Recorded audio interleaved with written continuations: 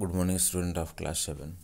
Today I will teach you English grammar, chapter number 6 Verbs.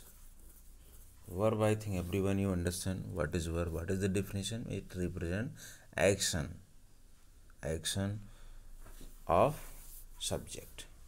It denotes action what the subject, subject means noun or pronoun does. So here given some lines about it.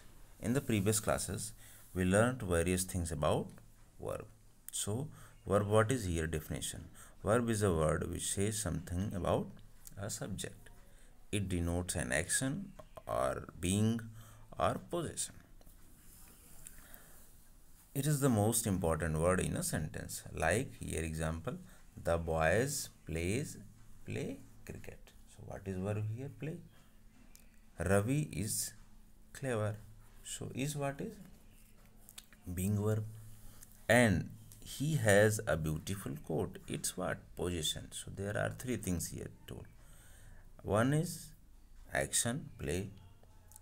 Is am are it's being verb. Has it's represent possession.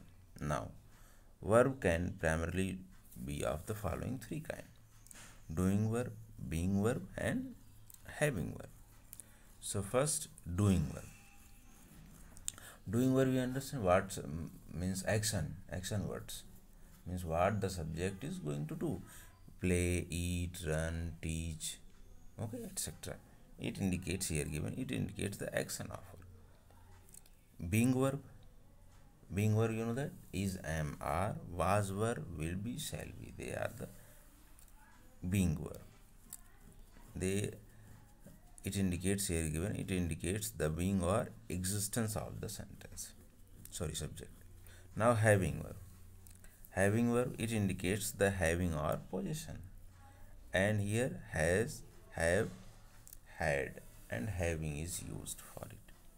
And verbs can further be classified. Here principal or main verb you auxiliary or helping verb and kinds of verbs. How many kinds of verb here given two types. One is transitive one is intransitive. Maybe previous class you have studied already. Transitive and intransitive. Okay transitive verb object what is? Trans transitive verb? Intransitive verb object is required. Without object sentence is not in complete sense. Suppose that the boys play. Okay the boys play. Now sentence is not in complete sense. Object is required. The boys play what play?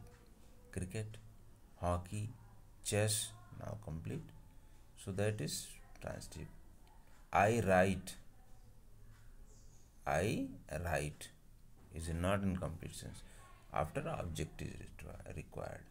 So i write a letter like this okay? Here given verb which requires which requires an object to complete its sense is called a transitive okay he called me. He called me. Then me is what is?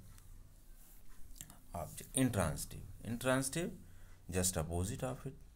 Verb which does not require an object. Without object is in incomplete sense. The like the baby sleeps. He laughs. Complete sense. Okay so today what to do?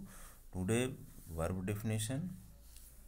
Primarily three kinds doing verb being verb having verb.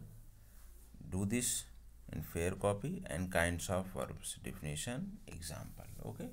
Do this today. Thank you for today